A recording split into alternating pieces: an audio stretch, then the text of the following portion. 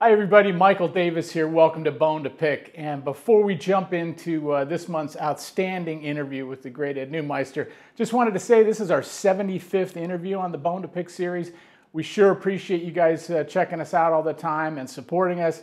Uh, keep sharing us on YouTube and Facebook and Instagram and wherever you can, turning it on to your students and your colleagues. Uh, hopefully, we can do 75 more of these. We sure appreciate all your support. Enjoy this month's interview. Hi, everybody. Michael Davis here. Welcome to Bone to Pick. We are coming to you today from Newark, New Jersey, and the home of our featured artist for the month of December, the great Ed Neumeister, uh, a longtime friend of mine and a person that I've been a fan of for, for many, many years. It's just great to have an opportunity to sit down with him today. Uh, he is a, uh, an esteemed composer, conductor, instrumentalist. He's been at the forefront of the jazz and creative music scene for over 40 years. Uh, early on, he had a, um, a, flourishing career in the San Francisco Bay Area, playing every style of music you can possibly imagine, from uh, Jerry Garcia to the San Francisco Symphony. Uh, in 1981, he made the move to New York City, quickly becoming one of the top called jazz trombonists and, and studio session players. Uh, I spent 19 years with the Mel Lewis Jazz Orchestra, 15 years with the Duke Ellington Orchestra.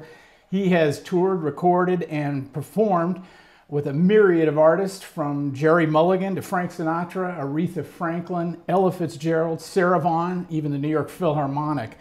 Uh, he has developed a, uh, a substantial career on the uh, European jazz scene, starting from the early 90s uh, and going to this day. Uh, he's for many years was the professor of jazz trombone at the University of the Performing Arts in Graz, Austria. Uh, he's been actively leading his own groups since his days back in San Francisco. Uh, he has recorded seven albums as a solo artist and a leader. Um, and I uh, have to say, on a personal note, I was uh, a high school student, about as green as you could be, and, uh, and uh, fancied the idea of becoming a trombone player many, many years ago.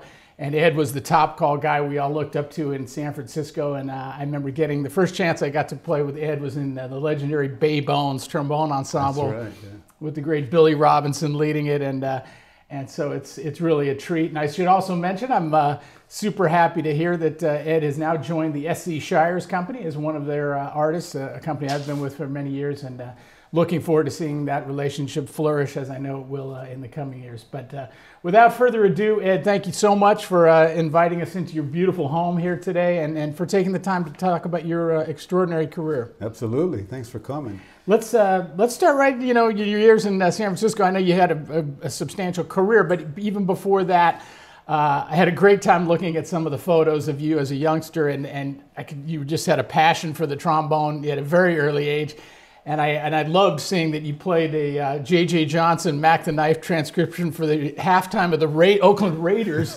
Talk about a different era, but uh, but obviously you had a, a, gift at a very early age. But uh, just tell us a little bit about your memories of uh, what what drew you to the trombone and to music.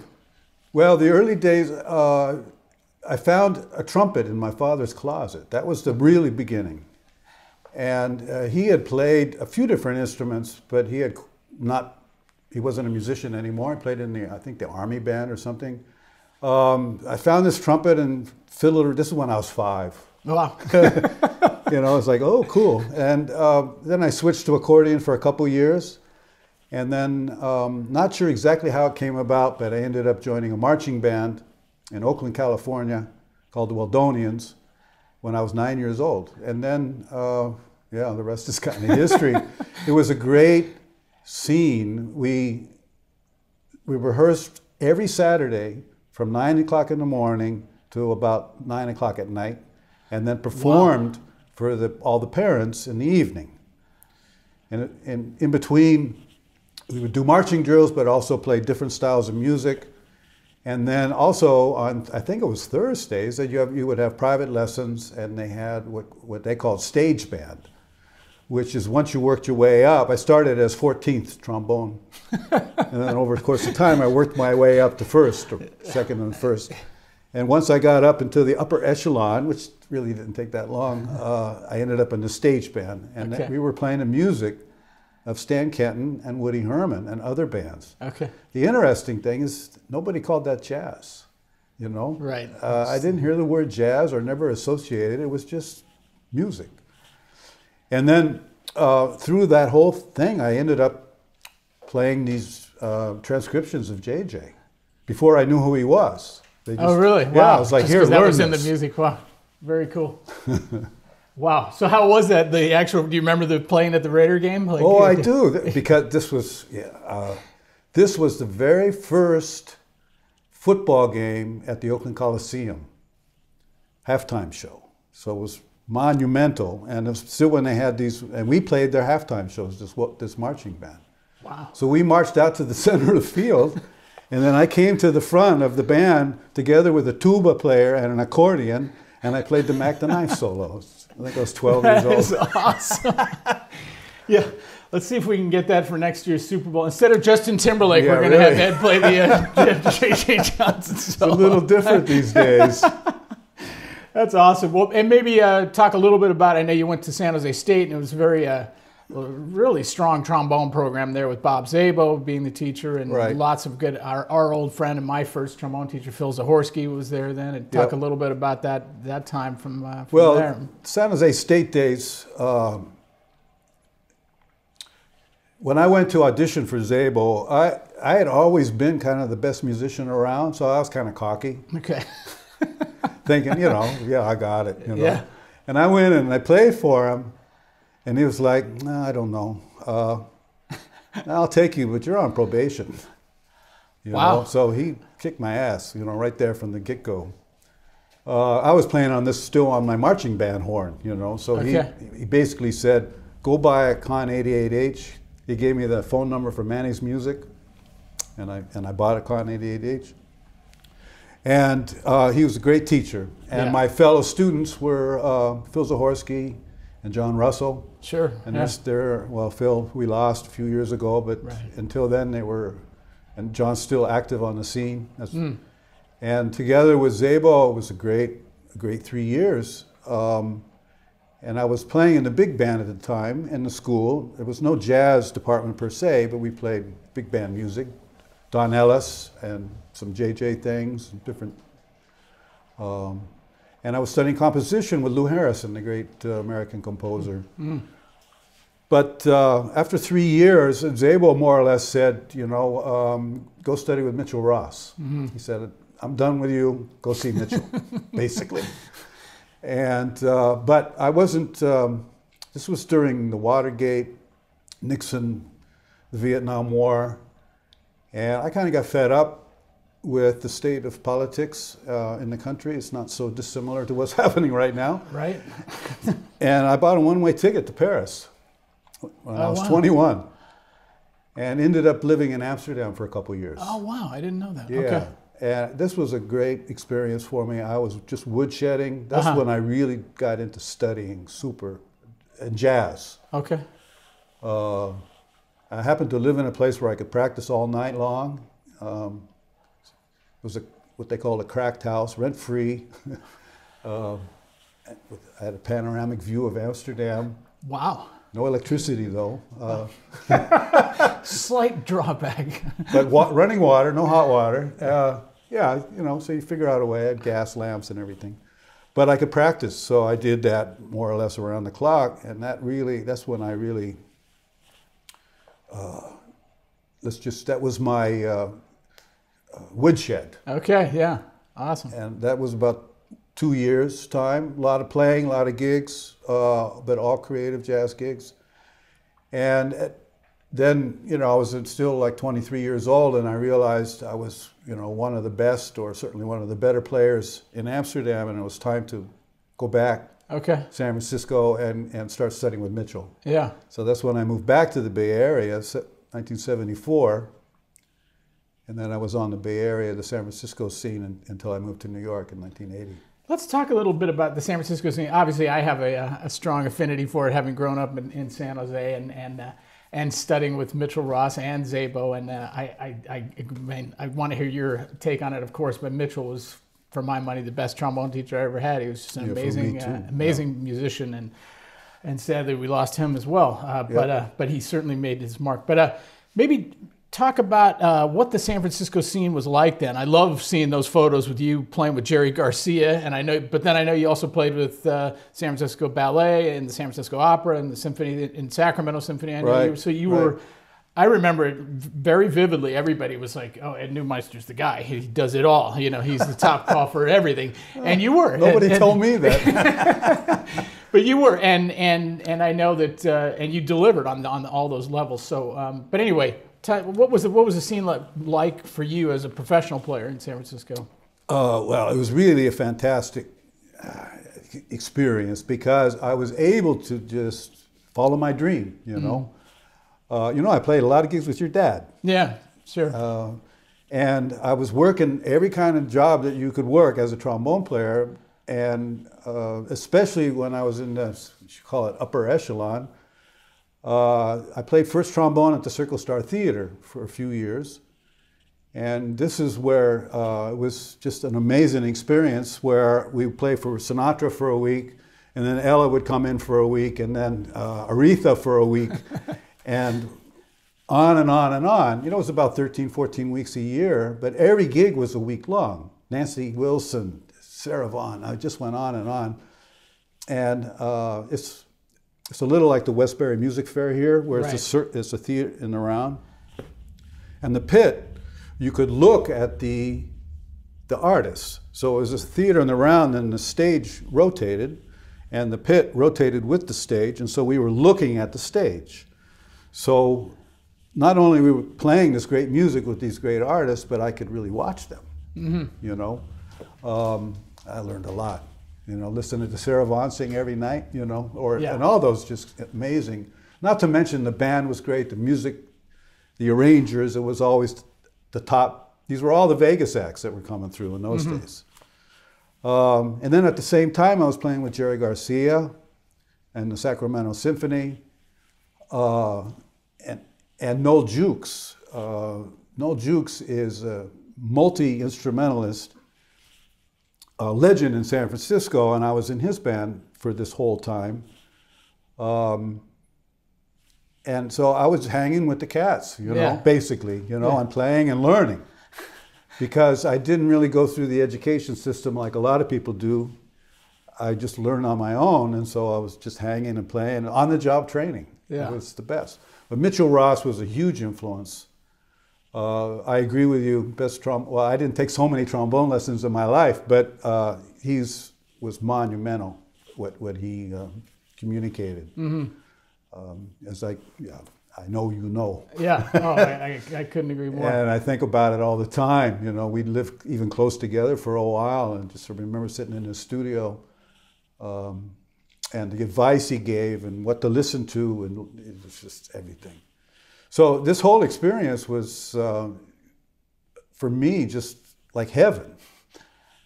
Uh, although it came to a point, I was still in my now at this point kind of late twenties, and I was playing at the best gigs in town Yeah. and kind of looking around at the people that are actually my age now, but the 65, 60, 65, the guys that have been on the scene all the years, all those years, and um, I kind of said to myself, I, I don't want to be that, you know, I need to keep growing. And I have this uh, desire to be creative Yeah. Certainly. uh, and more than a desire, I would say, you know. Uh, and so the, the question is, okay, where do I go next? And the choice was clear. It was either L.A. or New York. And if you want to be a little stereotypical, you go to L.A. to make money, and you go to New York to make music. I mean, that's a little cliche. There's nothing against L.A., and we, we could talk about it later. I was there for five years too. Uh, but I just I came to New York to visit, uh, stay with my friend Chuck Metcalf. You remember Chuck, the bass player? Yeah. And I stayed for ten days. I went to three clubs a night. Uh, and by the second day, I mean, there was no doubt in my mind that I'm moving to New York. and yeah, so Well, that's great, and, and that's exactly where I wanted to go with it, because, uh, and that's when I kind of really uh, got to know you better and and, and in a way like uh, kind of like saw you t- take that path, you know, and it helps all of us, you know, when you see somebody, you know, making that jump and it is it's a big uh, commitment and i know you've always been so committed to creative music and so passionate about it that uh, clearly that's the right place for you to go. Maybe talk a little bit about uh, your, your early years in, uh, in new york. I know you told us a great story uh, before we started the interview that i think it would be worth telling again.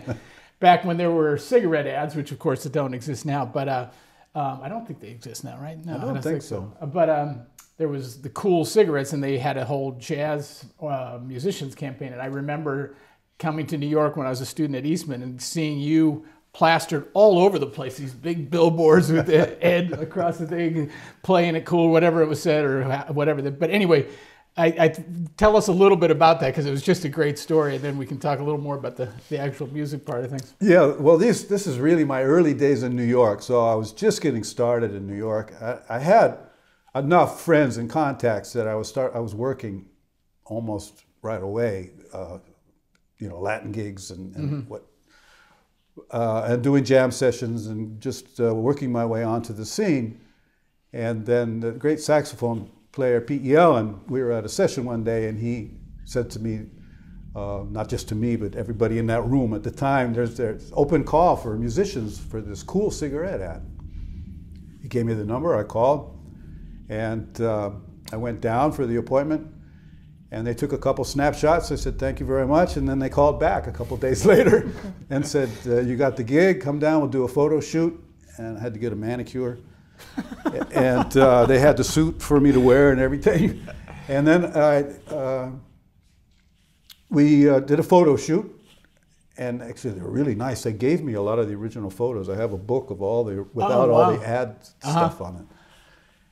And the, the, the, quotation was, there's only one way to play it, comma, ah, cool. Right, right. Now I remember it. Yeah. And they used, there was a lot of jazz musicians that were also in the same campaign, Slide Hampton, uh, George Young, uh, Marvin Stamm, I think. Uh, but for some reason, they used my photo picture a lot. And uh, a couple of the famous ones are top of Herald Square above Macy's, big billboard. And the other sort of mind blowing thing was for a while I was on the side of every bus in New York. Profile. I remember seeing it on the bus. Yeah, I have some pictures of three or four buses in a row. it's crazy, and um, and I was new in New York, so most of the players in New York didn't know me, and that's how I became the cool guy. You know, literally. that that is awesome. Yeah, any any product that's going to use trombone as their main source of advertising yeah, is really be okay the, with me. Holding the horn right. Yeah, holding. The, yeah, looking. Usually, like you see these ads and they have the horn backwards or something. You know.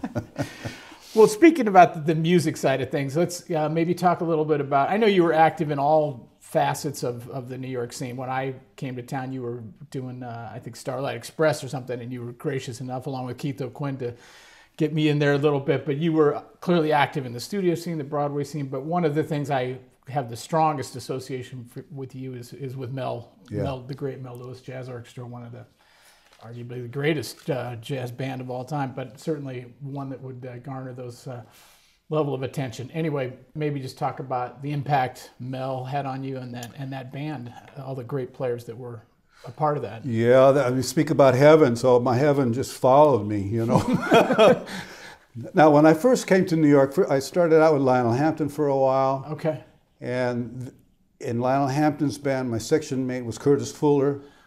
So, and Frankie Dunlap was playing drums, and a lot. It was a really a great band. So that was also heavenly. I'm hanging out with Curtis Fuller. with my one great. of my heroes. Yeah, you know, sure. And so that was amazing. And then Buddy Rich. Right, I remember you spent And then back to Lionel Hampton, and then Mel Lewis. Um, and the Mel Lewis is interesting how it came down, really. Um, there was, we'll call it a shakeup in the band. Brookmeyer was the music director. And uh, Mosca called me and asked me to come down on a Monday. And so I played. And at the end of the night, he said, Can you come next Monday? I said, Yeah, I can come. And the next Monday, he said, Can you come next Monday?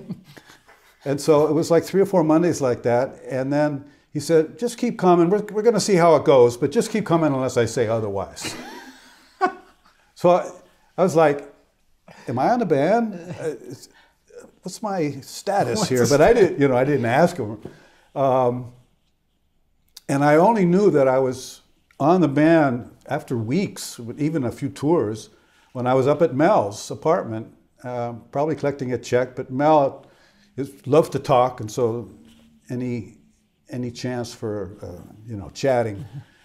And so he told me more or less the uh, the scenario of what's planned for the band. And after this whole long, we're going to do this, we're going to do that, and he said, "You're going to be there." And that's when I knew I was hired. That's That- awesome. Now, uh, I read later that Brookmeyer, uh, in, in one of his blogs, he uh, kind of takes credit, you might say, for bringing me and Lovano and Tom Harrell onto the band. Really? Okay. So that was part of his tenure. Okay. And uh, I actually have a great Brookmeyer story. It's a little of a sidetrack, but since he was music director, uh, after the set or after the night, I would often go to him if, and say, uh, if you have any tips or suggestions, you know, I'd love to hear any feedback. Yeah, yeah. And he was always, oh, sounds good, man. Like, oh, no, but I kept needling him. I was bugging him, you know. And finally, he said, "Do you have a piano?" I said, "Yeah." And we lived near each other. He was in Gramercy, and I was 16th and uh, or 17th and 6th at the time. And uh, so he came over, and he sat down at my piano and started playing. And he played the piano for an hour, and I just stood over his shoulder and watched. And every now and then he would say, You might want to check this out. and then he played for a while. I said, You might want to check this out. And, and that was. And then he left, and that was that. You know, he's just showed Wow. me his shit, basically. It was Uh-huh. all Brookmeyer, you know, Uh-huh. that chromatic and polytonal, small interval kind of Brookmeyer stuff. Mm-hmm. You know, you might want to check this out. and essentially, what he was telling me uh, was to stretch out more harmonically. Oh, okay. But he didn't say it that way. That's what I, that was my takeaway. Okay. And at the same time, around the same time, I took a lesson with Lehman. that- My only two jazz lessons in my life, and Lehman said more or less the same same thing to me. So that was the beginning of me harm, exploring more complex or sophisticated harmonies or whatever. But anyway, going back to Mel's band, uh, like I said, this was absolute heaven. It was a great band, really great, and with filled not only with great soloists, you know, Lovano and Tom Harrell was there in that day, at that time, and Kenny Garrett was playing alto when I joined, and of course Dick Oatts and uh, and Mel, and then especially when Dennis Irwin came on, uh, it was first with McNeely and then Kenny Werner with that rhythm section, and Earl Gardner playing lead trumpet. We were this magical unit. Uh, that I've never experienced since then. You know, to that level. Sure. We were like this organism that literally and figuratively were breathing together, you know. So the ensembles were just amazing, in large part to the way Mel played. I mean, just just amazing player. Um, but in between with all these incredible solos and stuff. Yeah. So again, I was I'm in heaven, you know. I'm just sitting in the middle of this band with playing Brookmeyer and Thad Jones and and it's just amazing experience. And then at the same time, as you, you said in the introduction, I was playing with the Ellington band. So I was surrounded with Thad Jones and Bob Brookmeyer on one hand, and in those days you could really juggle two or three bands at the same time, doing the Ellington band, playing Ellington and Strayhorn music, which is the other side of heaven, Sure. you might say, or Yeah, whatever, yeah. another department, Yeah. And absorbing all of that. So this was just a fantastic uh, learning experience, learning, growing, on the job training, grooving. Mm-hmm. yeah. Um, we could spend so much time on New York, but we'll and we'll come back to it a little bit. But uh, let's talk about um, and thank you for talking to saying uh, talking about Mel's situation because it was like I remember hearing the band at that time and just being blown away. And when every every single players making these amazing contributions as Yeah. a soloist and then an ensemble like you described. I just play. I just sorry to interrupt. But No, I played a gig with Lovano last week. We were in Budapest, Hungary, together with, mm. with Peter Erskine Oh yeah, I think I saw and that. the uh, one. Budapest Jazz Orchestra. And Joe and I, we always talk about it when we're together about how magical that mm. that period was. You know, it's- it's really everybody. I think everybody who heard it and everybody was certainly that experienced it in the band uh, has that kind of memories about it. It's Yeah. just amazing. That's amazing. Well, talking about about Europe, uh, you made in 1999. You made the move to uh, to head over to Graz and uh, that fantastic program over there. You already, at least from what I could see, you already had a presence as a soloist and a, and a and a writer in Europe and doing your own projects. But uh, maybe talk a little bit about what made you make that move to Graz and and how you. Uh, how you found the uh, the European scene? I know you're still over there a lot. I know you mentioned Budapest, and you also have an association with the Metropole and Right. various orchestras that you've worked with. But maybe uh, what made you make that move, and, and and how you how did you find the European scene in general? Uh, well, the, the process started back in the early 90s. So it goes back actually to Brookmeyer um, and Mel and Kenny Werner and Lovano. Uh, so my colleagues, my friends, I saw them going to Europe and doing projects. And small group and big band. WDR, the radio band in Cologne, Germany. A lot of people were going there. And so I, I'm sitting in my little second trombone chair going, uh, I want to do that. that looks like fun. But I had, uh, you know, I toured in Europe, but always as a sideman. I didn't really have any strong connections. So there was no opportunity until, again, it's like a magical day. Uh, the band director from Denmark, a guy named Jens Kluver, uh, was in the Vanguard and it was a set that featured me a lot. And, you know, big bands, it's not always the case. You never know. Maybe you get a solo, maybe not. Sure. But in this particular set, they played my arrangements. I had a solo, you know, so a little feature. And the guy came up and said, uh, I have a band in Denmark, and if you're ever in Europe, I would love to have you be a guest with the band. So I went home that night and flipped the calendars during paper calendars. I flipped it ahead six months, closed my eyes, put my finger on a date, and said, I'm going to be in Europe. and I call, or I sent him the letter. So I think this is even before fax, you know. It's, uh, and I just told him that. He booked me for three days, and then I asked him for suggestions about other people in the area to contact. And I did have some kind of connections that I reached out to, and that I parlayed that first European trip into a three-week tour. I was in Paris and, and uh, Helsinki and all over Austria, Germany.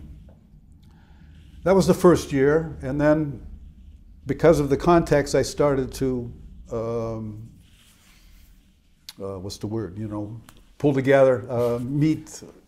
Uh, I, I just kept kept at it Sure. you know, um, and kept peop- in touch with people and people who would say, we can't do anything this time, but let us know, you know.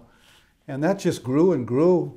The First, first year was that one three week tour. The next year I did two tours. The year after that, I think three. Uh, and a lot of touring as a musician, it's the same now, is pick up some gigs, but uh, doing university work in between, you know, Right. coaching or t- lessons or doing a project with the big band, whatever. So, of course, that was part of my routine, my, my um, touring routine. And it started, I could start to see that a position could be offered to me. Um, And it was already kind of in my mind, and I was, I was uh, in those days, I was traveling to Europe every month. Literally 12 times a year, I was popping back and forth, doing something over there. And my work here, um, the commercial work, was sort of, I didn't really have time for it. Plus, I, I really wanted to focus on my creative life. Um, that I, so I was teaching here and playing whatever gigs I could manage, and still doing the Vanguard and whatever else I could juggle, you know. Um, and then this professor, professorship opened up in Graz. And um, I remember this the IAJE conference in Miami. The guy came to me, and he invited me to breakfast and he said, We have a new professorship, jazz trombone. Would you consider considering it? and so I said, Well, um, possibly. Let's discuss discussing it. and then, yeah, went on and on. And, and it ended up, they brought me as a guest professor and almost handed me the gig on a silver platter almost. It Still had to go through, I had to audition like everybody else. And um, luckily for me, uh, there wasn't really any competition. Uh, and so I did, was offered a job, and then I spent the next 15, 16 years teaching there. That's great. Well, they were fortunate to get you, so that, that's an awesome thing. And and did you find like I would imagine that since you're in Europe, that it expanded the opportunities for you to to Well, this work is as a solo artist, or Uh, did you find that? Yes and no. Uh, for some, like the Budapest Jazz Orchestra, so I have a long time relationship with them, and I go to Budapest once or twice, sometimes even three times a year, and I conduct the band, or rehearse, conduct, and play solos with the band. Sometimes we do my music, sometimes it's somebody else's music. Okay. Uh, this has been going on for a good 10 years. That happened as a result that I was nearby. The Metropole, uh, when I, I did projects with them, but I had already established that relationship from New York. Uh, interestingly, some of the clubs that I played at when I lived in New York, um, I never played again when I moved to. Oh, is that right? Yeah, well, they didn't want to pay. They wanted to be paid me like a local guy. Oh, right.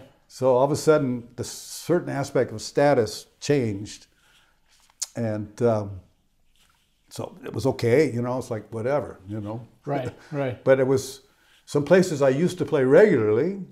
All of a sudden, it was just a no go. Uh huh. You know, and it's kind of interesting. Um, but I was uh, active. I stayed active.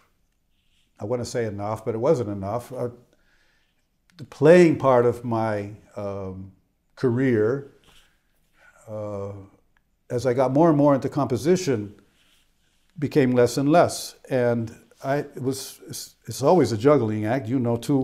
Of course. Um, but when I was freelancing in New York, I could play the trombone a lot. Now I'm teaching, composing a lot, but not playing the horn so much. So when I had a gig, which was always a feature solo gig, I had to train for it, like an athlete would train. Yeah. You know, I would keep my chops kind of in the neighborhood, play with students and practice and keep it up as much as possible. But uh, is when and the chance of a last minute gig like in New York, like Ed, can you come here now? That doesn't really exist there. right. So I always knew about the gigs ahead of time, and then I would train for them. So that for me, that was a big um, uh, transition or uh, adjustment, uh, and it did change over time a little bit. And but I did, I didn't do a whole lot of freelancing with play with other people. A little bit, especially New York people that came over, Dave Liebman or Jim McNeely. Um, but the last six or seven years, I'm playing with a guitarist, a Viennese guitarist named uh, Karl Ratzer. And we still, uh, I, am going to go there in, in, January. We have a tour and another one in the spring. So I'm playing Nice. with him still. It's a great band. Um, and continuing the European presence from the New York base. Yeah. Yeah. Cool. Well, you touched on it earlier, but let, let's.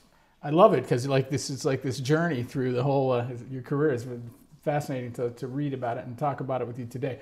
Let's talk about LA a little bit. I know in 2007 you you moved. I know you mentioned you were still in Graz, but you made the commitment to go to LA and do work in film scoring, orchestrating, and whatnot. Talk about uh, talk about that a little bit. That's a pretty big transition, I would I would imagine. Yeah, that was major, uh, um, but kind of inevitable somehow. You know, uh, in addition to teaching uh, in Graz, the professors, professorship there, I was also uh, I designed the curriculum and was teaching uh, jazz composition in Lucerne, Switzerland. Oh wow. Okay. And that happened almost right away. So it's like, oh, Ed, you're in Europe. Can you can you do this? We're we're we're setting up a new composition program. Uh, they call it a graduate program. The level wasn't really that high, but it was good. And so I started this jazz composition program in Lucerne, Switzerland. I was teaching at both schools. after the composition program was growing, I needed to bring in another teacher. And there was a, there was a composer who was living nearby named David Angel. And he was a Hollywood ghostwriter for 30 years. And uh, I had met him and I brought him in to be the other teacher. We became fast friends, great, knowledgeable composer, also plays the saxophone.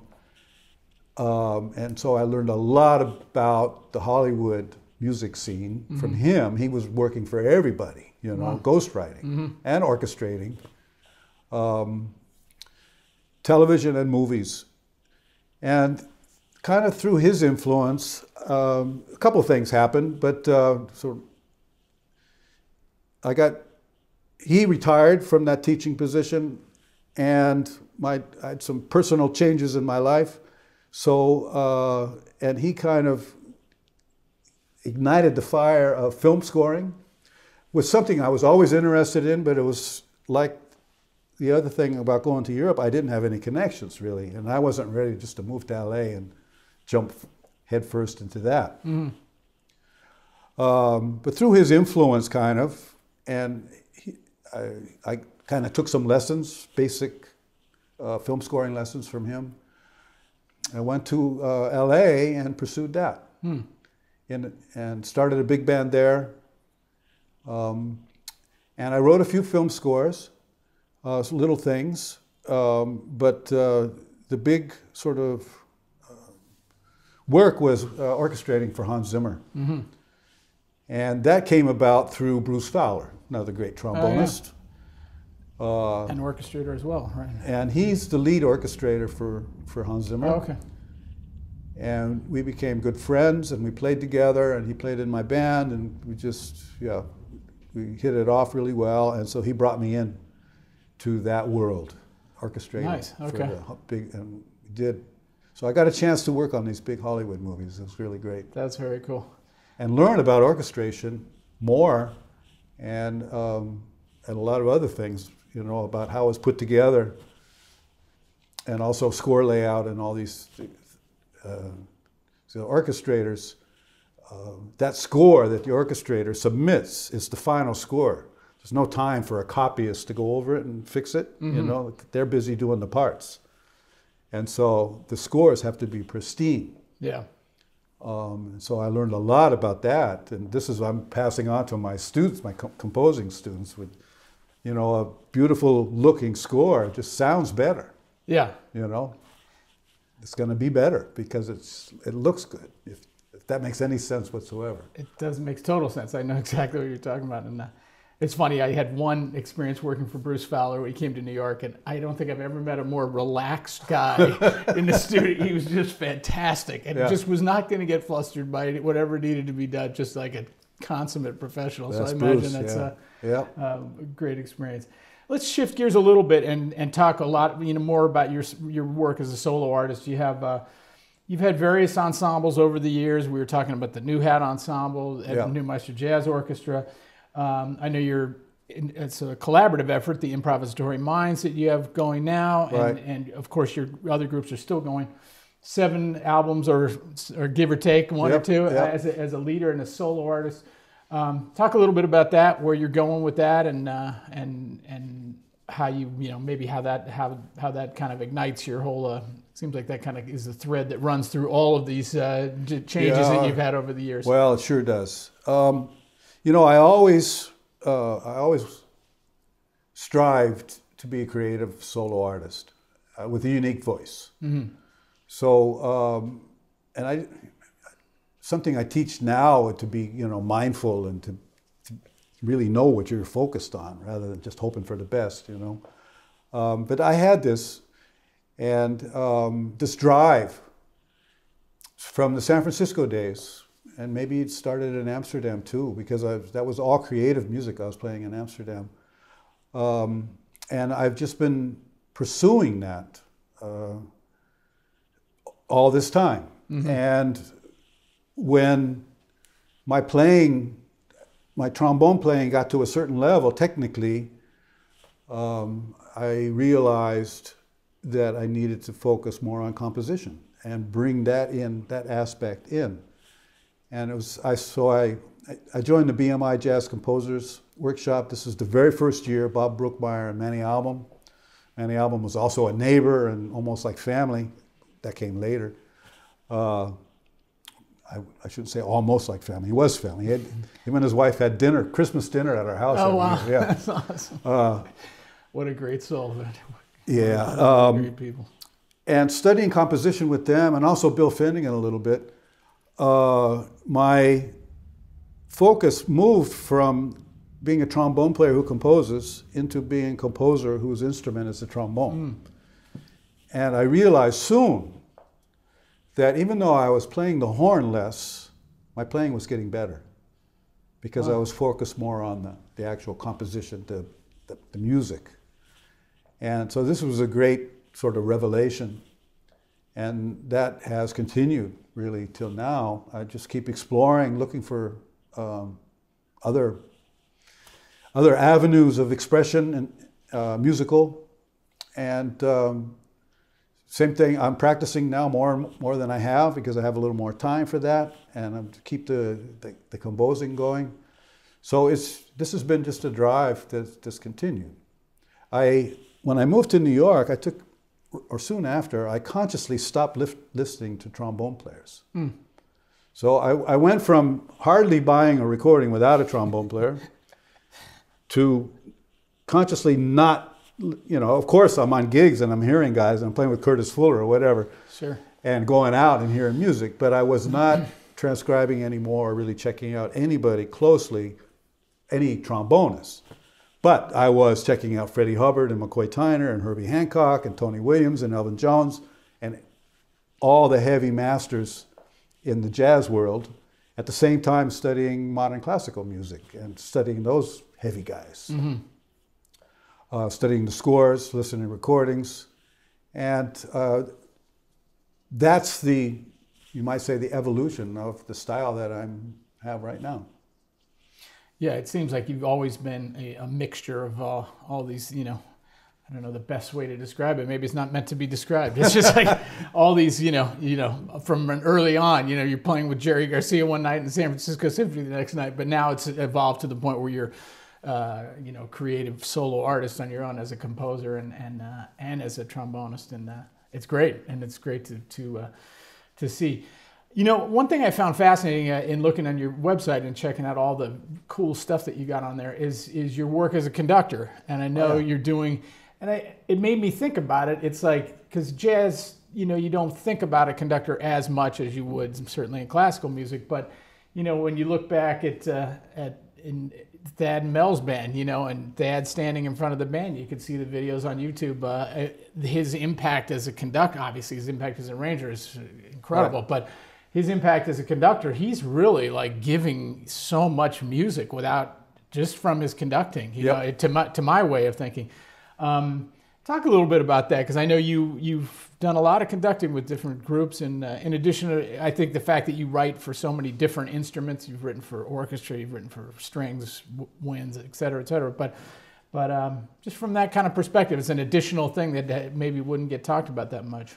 Yeah, I, I it started out conduct well in these tours. I had to conduct the big bands because I'm the guest artist.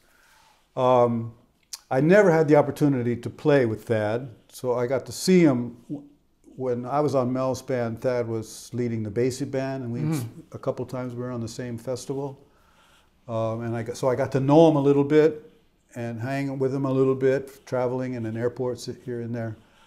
But my most of my uh, conducting uh, education is from classical mm-hmm. orchestras mm-hmm. and and some maybe. Um, some shows, you know. And so I try to bridge that gap.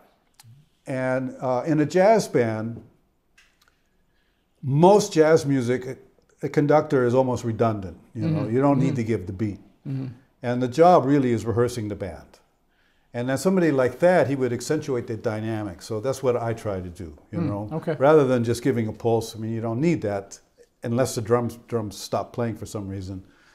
And so it's really about rehearsing. And I've become a real student of rehearsal technique. And I'm sure you know uh, there's never enough rehearsal time, so you have to take advantage of every second. Sure. Yeah, that's for sure. Um, and especially when there's a budget, you know, and that clock is ticking, uh, every second counts. So not only as an arranger composer, being really clear, and so there's no questions or very few as a conductor.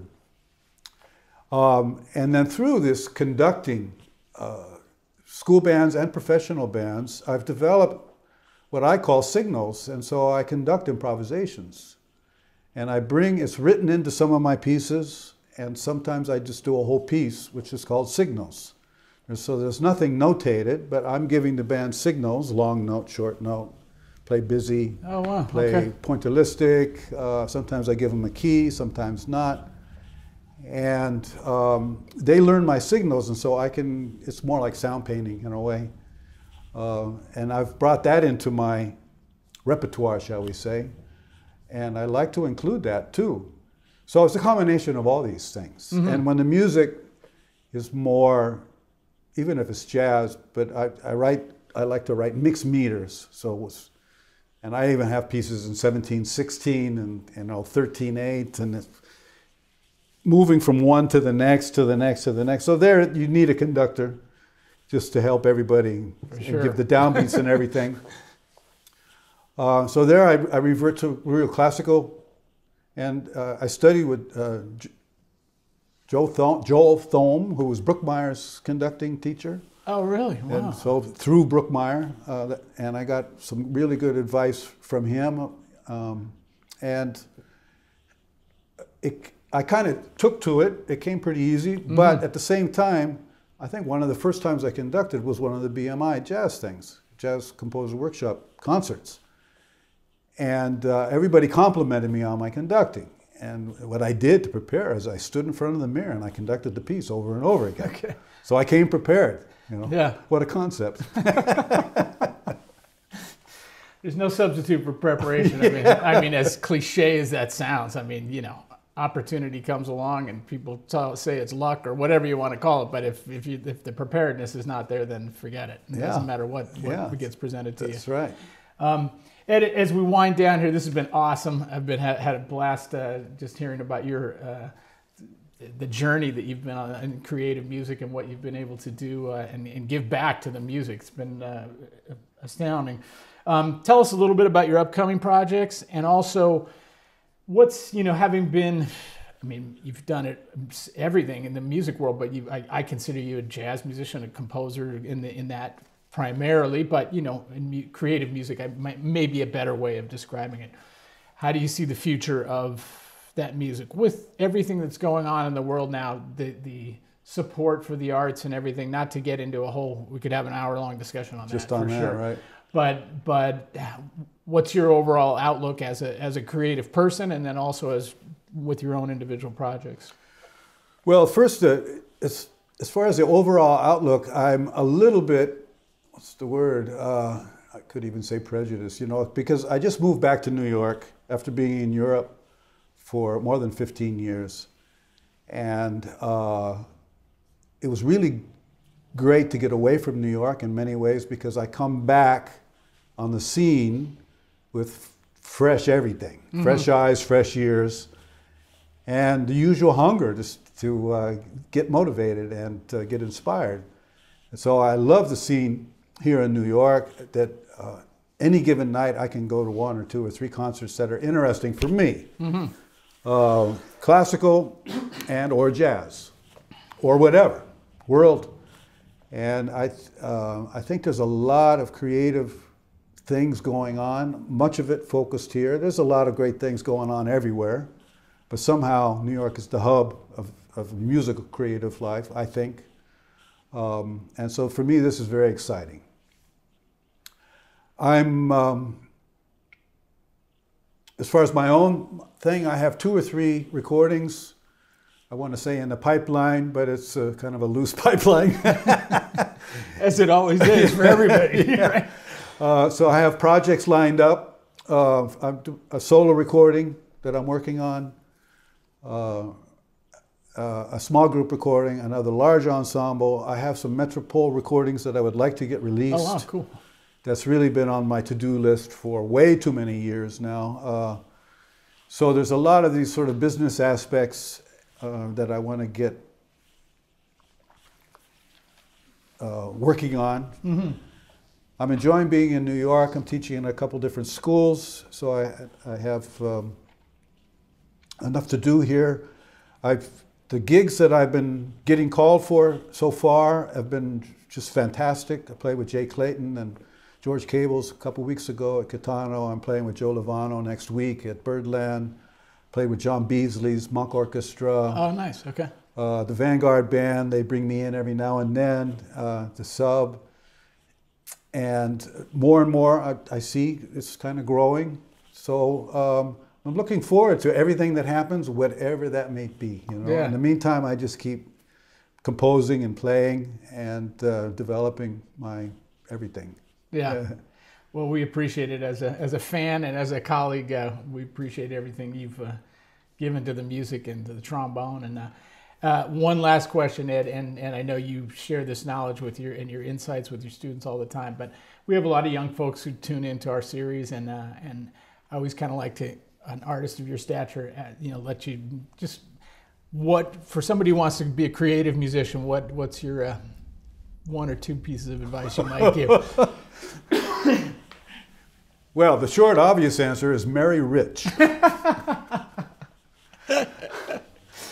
good advice. It's good advice. hard, hard to accomplish sometimes. Hard to accomplish, but, uh, and sometimes we, especially with the trombone. But uh, but don't be don't be dis- don't be discouraged. But the, lo- the longer answer uh, is uh, for the creative will only really work in the marketplace if you're a good businessman. Hmm. Okay. And you know this as well as anybody, I would say. Um, because kudos to you and everything you're doing. You're doing you. great work in all these regards. Uh, we can be the most creative player in the world, but if nobody hears you, nobody's going to care. And we have to realize that we are not only a creative artist, or whatever, however you want to describe yourself, but we are the publicist, we're a manager, we're an agent, we're the house cleaner sometimes, whatever else. Collection agency. and um, I think, especially younger musicians, they uh, they sleep on this a little bit, you know. And um, the other thing that I think is really important is that if there's somebody that you would like to perform with, whoever that may be, and assuming that you're capable of it, uh, then let them know. Mm-hmm. You know, if there's a band if there's a rehearsal band in town or a band that plays Monday nights in your town or once a month or whatever, and that's something you would really love to do, and you are capable of it, you know, you're at the level that, so you don't crash and burn, uh, go tell the band leader. And if you're a trombonist, go tell the other trombonists that you would love to sub, you know, and by expressing interest, then that can open doors. Mm-hmm. And just sitting at home there used to be a phone that you look at, but now I don't know what it is, uh, then it's going to be difficult. Yeah. So that's yeah. that's the basic. That's great advice. Thank you for uh, sharing that, Ed. This has been a blast. Thank you so much for. Uh, You're welcome. Thank you. The time and having us in. This is incredible. You guys can't see it, but it's an amazing view right here. But uh, at any rate, uh, thanks everybody for joining us this time on Bone to Pick. I hope you guys enjoyed this as much as I did, and we will see you next month.